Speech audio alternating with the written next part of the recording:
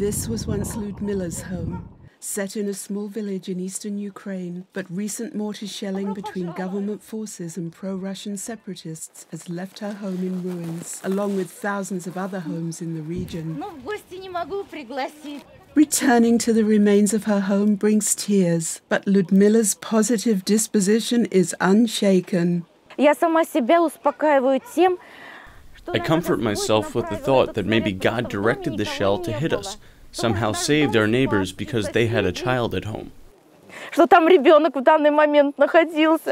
Ludmila is one of over a million persons displaced over the past year by fighting in eastern Ukraine. Survivors and refugees whose homes were destroyed now look for shelter with family and friends. Those without either of them seek refuge in centers set up by the UN's Refugee Agency. While the walls of our house were still standing, we managed to escape.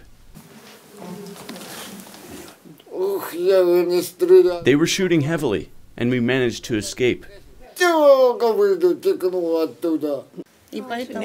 I have no one, no brother, no mother. Everyone has died.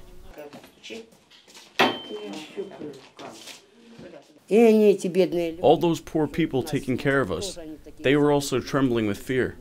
Despite their precarious circumstances, many continue to hold out hope for a peaceful resolution to the conflict. We will live here. There will be peace and everyone will come back.